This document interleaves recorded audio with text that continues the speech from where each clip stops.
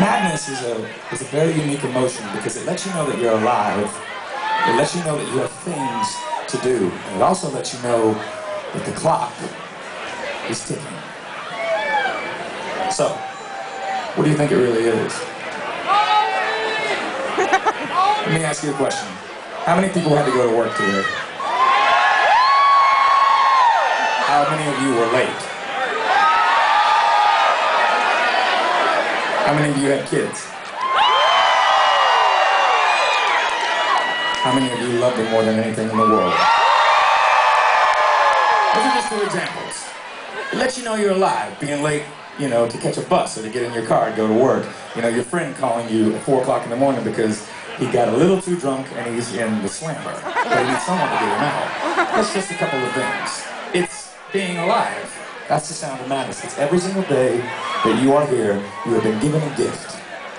So if you waste it, that's all on you. You can't blame anybody else. You have to look at yourself in the mirror constantly and realize you have to not only make yourself happy first before you'll ever make anyone else happy, you have to realize that you have a duty, not only to your friends and your family, but to yourself. Because here's the thing, the life that you want is right in front of you. No one can take it away from you. And every once in a while, there's always going to be someone that wants to beat you down. Whether they've lost confidence in themselves, or they're insecure, that's not your problem tonight, after this show, if there is someone like that in your life, when you leave, tomorrow, every ounce of who you are, what you stand for, because you want the life that you set out to have, if they're stopping you from that, then it ends now.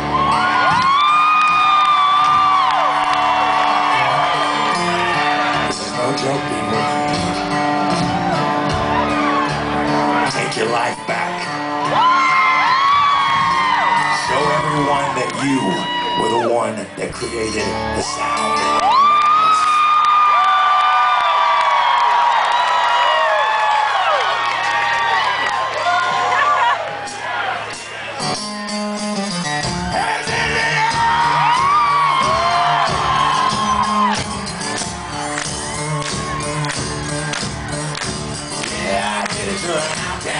Always under attack, always coming in last, bringing the past. No one owes you anything, I think. You need a shotgun blast, a kick in the ass, so paranoid. Watch your back!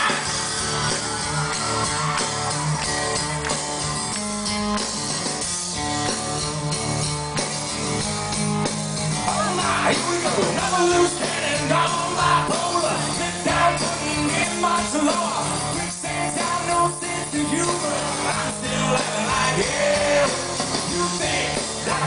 me?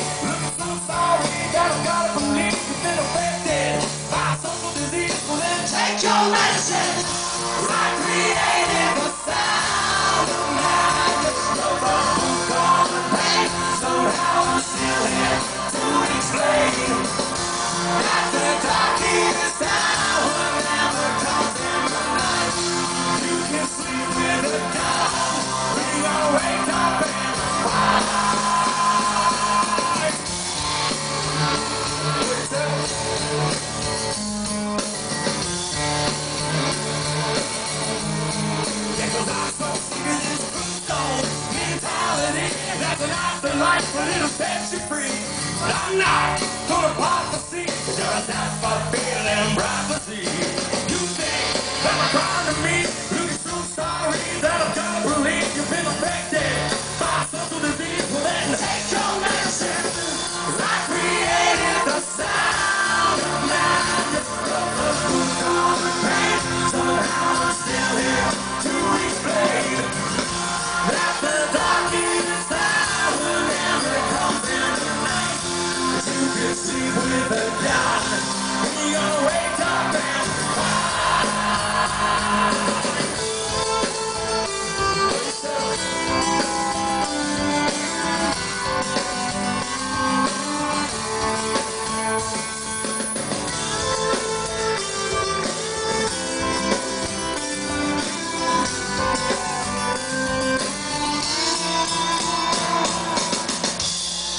created the sound of madness, wrote the book on pain.